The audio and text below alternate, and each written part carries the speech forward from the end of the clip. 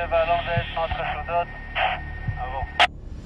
רות, קיבלתי תחנות זלת כאן קודקוד, יצאנו להתקפה, דובי רשאי. אשר. אחד ושתיים קודקוד. תהיו במוכנות ליציאה לכיבוש... אה, לכיבוש הבתים שלכם. אנחנו בעוד קטנה כבר נתאפס על קו שלב ב'. להיות ערוכים בבקשה, עבור.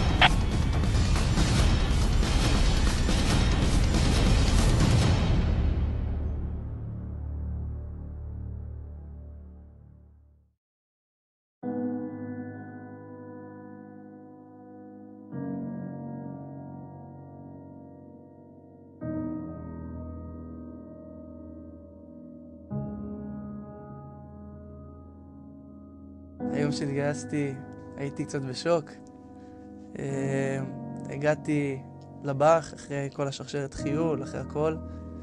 אה, פתאום לישון באוהל, פתאום זמנים, אה, הכל שונה.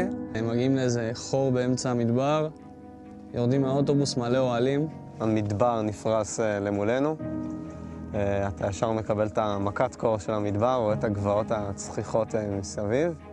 ואתה רואה שאין פה שום דבר חוץ מאנשים על מדים, ואז אה, לאט לאט אתה מתחיל להתחבר למקום, אתה מבין שפה אתה הולך להעביר תקופה מאוד גדולה מהחיים שלך. אתה אומר, מה אני עושה פה? לפני שבוע הייתי בחו"ל עם חברים, נופים, מסיבות. עכשיו אני על מדים אה, באמצע המדבר. אתה אומר לך, תעמוד במסדר, אתה קצת מתבלבל, קצת בשוק, קצת לא מבין מה הולך. יש אווירה בשוק קצת כשאתה מגיע. כאילו, אין מה לעשות, בכל זאת זו מסגרת חדשה, וזה... זה אף פעם פשוט התחלות. וזה קטע דווקא אני מאוד אהבתי את זה, שסוף סוף אתה מתחיל אה, לעלות על הבית, לה- להתחיל לזווה דברים, לתיק, כאילו, להכין, לרדת לשטח, היה את הגיבוש באותו שבוע בדיוק. מתרגלים לזה מהר. חברים, אתה מכיר המון אנשים.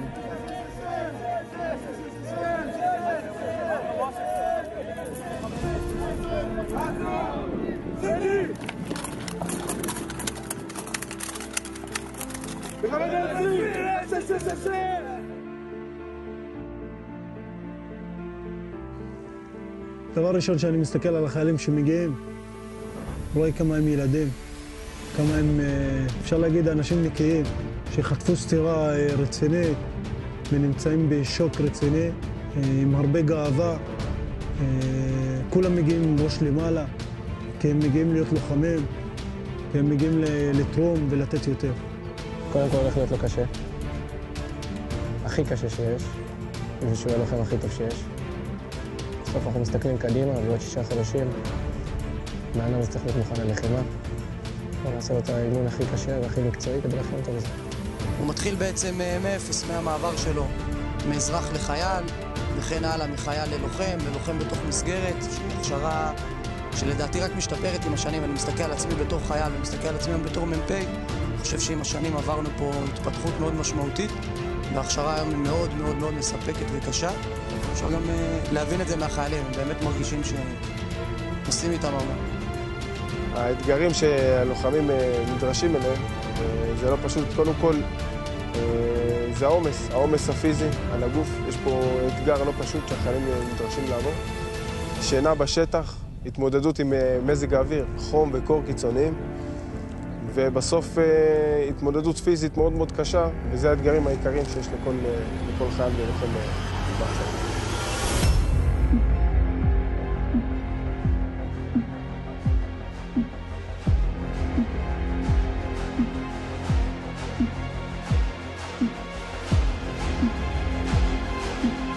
הקשיים שאתה עובר פה בתור לוחם בחטיבה, אחרי שעבורו שאתה לא מתקלח אה, שבועיים, לא אוכל רק מנות קרב, זה הקושי, ואנחנו עוברים אותם בגדול. צריך הרבה לחוות את זה פה. שאתה מרגיש שאתה לא יכול יותר, ואתה בעצם יכול עוד הרבה יותר ממה שאתה, מה שאתה חושב. כי כשברגע האמת, שיקראו לך, אתה צריך אה, לעמוד באמת וליישם את כל מה שלמדת כל הזמן הזה. אימונים, אימונים אה, שלא מפסיקים, כל הזמן יש אימונים. בשעות והקפצות באמצע הלילה, זמני שינה לא, לא הגיוניים, ודברים כאלה שאנשים לא יודעים, שזה מה שלוחם עובר, זה החיים של הלוחם.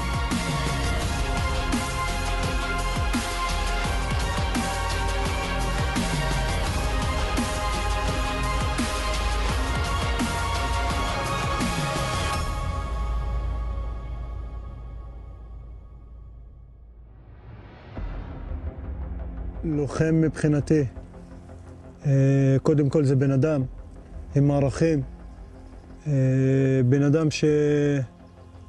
שיש לו מטרה, אה, וכשהוא קובע מטרה הוא יודע להשיג אותה. בן אדם שרוצה לתרום, רוצה לתת מעבר. בתור משהו חודשים אנחנו מצפים לראות לוחמים שבראש ובראשונה בעלי רוח לחימה, לוחמניים, מוכנים לקבל כל משימה קשה כקלה ולעמוד בה בצורה הטובה ביותר. אחראים, שמבינים מה המשימה שלהם ויודעים איך הם מממשים אותה. אחראים לעצמם ואחראים למסגרת שלהם. ובסוף בסוף אנחנו מדברים על לוחמים עם סטנדרטים גבוהים. החיילים האלה הם החיילים הכי נחושים, חיילים שרק מחכים להגיע כבר לקו, על מנת באמת לממש את כל מה שהתאמנו אליו, זה קודם כל להגן על תושבי מדינת ישראל, להגן על המשפחות שלנו, על העם שלנו, וכמובן אה, לטפל בכל מחבל או כל אויב ש... שרק יקרה לנו בדרך. כל אויב שייתקל בלוחמים שלנו, בלוחמי גבעתי, יפגוש לוחמים איתנים, לוחמים חדים, אה, שלא מוותרים. אותו מחבל שמגיע והוא רואה לוחם של גבעתי, הוא יודע שאותו לוחם של גבעתי יהיה ערוך כמו שצריך, עם כלל הציוד שלו עליו, מוכן, דרוך, חד, ויודע שיוכל להגיב אה, ו... ולראות בכל שלב ברגע שהוא יצטרך. הערך שדעתי גורם לחיילים בסוף להיות הכי טובים, להיות, אה, להיות עם חיוך על הפנים ולעשות את הדברים בצורה הכי טובה שיש, זה ערך הרעות. בעצם זה שחיילים מבינים שהם צריכים להיות חברים טובים אחד של השני, להתנהג כמשפחה אחד לשני, גורם להם בסוף, בקצה, אה, לדעת שגם שיהיה לי יהיה קשה פיזית, אז החבר שלי יהיה שם לידי, כשאני אצטרך להסתער ויהיה לי מעצור בנשק, אז החבר שלי יחפה לי. בסוף, אה, כשאתה נמצא נוכח פני אויב ואתה צריך להסתער לעבר האויב, אז בסוף אתה מסתכל באמת ימינה ושמאלה, ומי שאתה רואה, זה מי שאתה רוצה להגן עליו עכשיו. אתה רוצה להגן על החבר שלך שהוא לא ייפגע, בדיוק כמוך. כמו שאתה לא תיפגע, אתה גם רוצה שהוא לא ייפגע, כי הוא חלק ממך. בהתחלה אתה לא קשור לחברים שאיתך. ואז לאט לאט הם נהיים חברים שלך, וזה דוחף אותך. פתאום עכשיו הגענו לשבוע סדאות, ומילה שמישהו אומר לי יכולה להרים אותי ולתת לי כוחות. זה מטורף.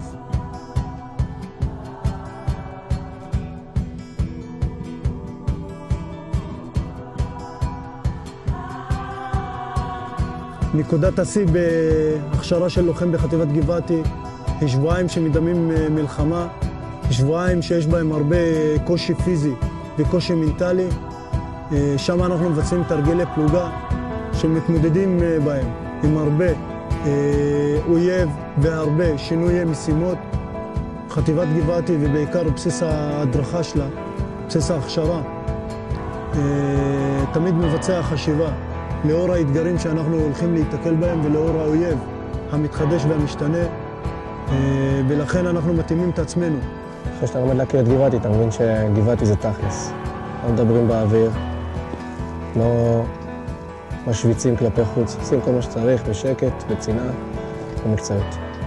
תמיד לזכור שאתה עושה פה משהו גדול, אתה חלק ממשהו הרבה יותר גדול. הכאב האישי שלך הוא רגעי. בסופו של דבר, מה שאתה עושה כאן הוא משהו מדהים, ובכאב שלך אתה בעצם מאפשר לאנשים אחרים לחיות בשקט.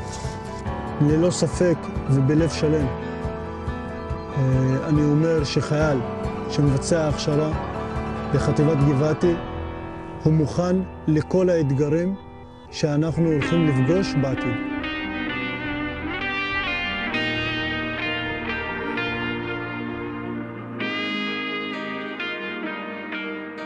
קשה, אבל uh, בפנים שמח, אתה יודע שאתה הולך, שבסוף המשפחה מחכה, שהכומתה הסגולה מחכה. Uh, זה רגע שאתה מחכה לו כל ההכשרה, וזו חוויה לכל החיים. הקטע של המעמסה כומתה, שבסוף אתה מגיע לכיפה למעלה, וכל עם האלונקות עליהם, כי כל מסע, כל מה שלי כסף להכיר את זה, שכל מסע נגמר בקטע של אלונקות. אז כל עם האלונקות עליהם, אחרי שעשית כבר איזה 6-7 קילומטר אלונקות, זה אתה מגיע למעלה, כל המפקדים שלך חופש... עם הכומתה על הראש, כולם, ואתה מגיע למעלה ואתה רואה את הנוף, ואתה רואה את חברים שלך, ואתה יודע שזהו, שהצלחת. שמים את הכומתה הסגולה על הראש, מסיימים אותו ביחד עם כל הקושי שיש, וככה הוא מרגיש אה, מחובר סופית לחטיבת גבעתי. גבעתי בשבילי זה באמת לקום בבוקר בידיעה שאתה הולך אה, לקרוא את התחת, אבל באמת שזה יהיה שווה את כל רגע ורגע בסוף. גבעתי זה משפחה. גבעתי זה אנשים עם דם סגול. זה אנשים אה, שאוהבים אחד את השני. זה מפקדים שמאמינים באנשים, מאמינים בחיילים שלהם, לא מוותרים להם. סגול זה, זה משפחה, סגול זה, זה אהבה, זה לדעת שזה החברים שלך, זה מה שאתה עושה ביום-יום וזה מה שאתה עושה בתקופה הקרובה. גאווה. להסתובב בחוץ, שכולם יודעים שאתה גבעתי ושאתה לוחם בחטיבת חי"ר כזאת טובה. גאווה. אני באמת חושב שסגול אצלנו זה המשימה ובמקביל גם הענווה, כי זו חטיבה שהיא מבצעת את המשימה על הצד הטוב ביותר, ובלי יותר מדי אה, דיבורים בדרך. סגול בשבילי קודם כל זה גאווה. ללכת עם הכומתה הסגולה, לראות דגל סגול לבן. אה, הצבע הסגול, מבחינתי זה מסמל בשבילי גאווה עצומה להיות חלק מהדבר העצום הזה שנקרא חטיבת גבעתי, מהמורשת העצומה הזאת שנקראת חטיבת גבעתי. ומבחינתי סגול מסמל גאווה עצומה להיות חלק מהמשפחה. מאוד ששולחות את הבנים שלהם לכאן צריכות לדעת שיש את המפקדים המקצועיים ביותר, שהמשימת חיים שלהם בשלוש שנים או שנתיים הקרובות זה לעשות את הבן שלהם הלוחם הכי מקצועי שיש ולדאוג לו באותו זמן. הם שווים למפה ממדבר ומים. חטיבת גבעתי חרתה על דגלה את ערך המצוינות, מחד ומאידך את ערך הענווה והצניעות, שגורם לחטיבה להשתפר ולהתקדם ולעמוד בהישגים רבים. מסלול ההכשרה בחטיבה מכשיר את הלוחם לאתגרי המלחמה הבאה. מפקדי החטיבה נבחרו בקפידה על מנת לשאת בעול האחריות להכשרת הלוחם בחטיבה. החטיבה מדגישה את טיפוח האדם והלוחם מתוך אמונה שעוצמתה באנשיה. אני קורא לנוער איכותי המעוניין לבצע שירות משמעותי בחוד החנית המבצעי של צבא ההגנה לישראל, לבוא אלינו לחטיבת גבעתי. יחד ננצח.